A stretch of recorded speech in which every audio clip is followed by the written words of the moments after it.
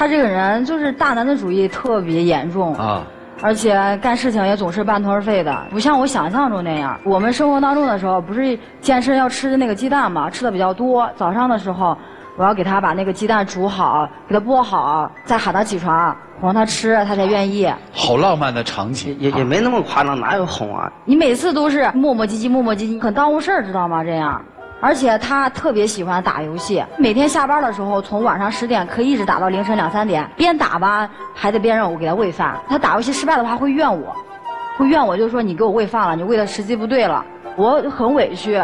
其实也没他说那么严重，我是怎么想的嘛？我平时也没什么坏毛病，我每天就喜欢那打两把游戏，然后下班又晚，我就想着我边打，然后他能给我喂了饭，就省个吃饭的时间，我又能多玩两把。我其实就这样想的，就想让他能陪陪我，多陪陪我。你打游戏，你为什么还一直让我给你喂饭？我还有很多事情要做呢，我还得睡觉，我爹爹还得上班呢。为什么不考虑一下我呀？那平时我打游戏，那键盘声音咔咔响，他肯定也睡不着。那你就陪着我玩一会儿嘛，给我当个观众，我自己深夜玩。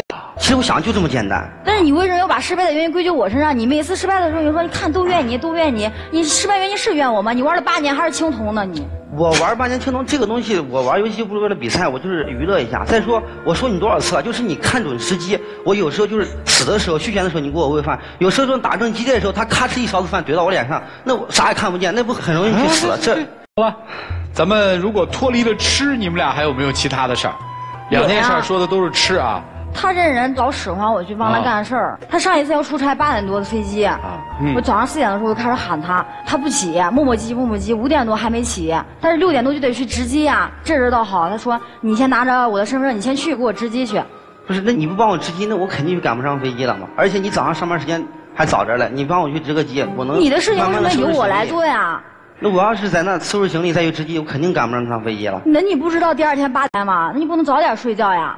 那前一天晚上不是睡得晚吗？那谁让你打游戏了？你自己的事情你得自己处理啊！你不能能不能不要就是依赖着我去使唤我去干那些事？你去没去？我去了呀。你去了？我去了。这个没原则的家伙，真是。不是。你别去啊！你不能去啊！我又怕他耽误事儿。我觉得她是我女朋友，那。